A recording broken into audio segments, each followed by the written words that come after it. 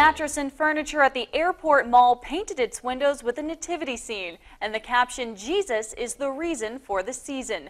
But what seemed like a heartwarming display of faith to some did not go over so well with others. The store owner says that shortly after she had the windows painted, she began getting constant feedback from the community, but not all positive. She says there was an overwhelming amount of negative comments for several days, so much so that her employees became concerned about their welfare. The store's owners and employees stood their ground, refusing to remove the paintings even when some callers resorted to threats, saying if the owner didn't take the windows down, they would take them down for her.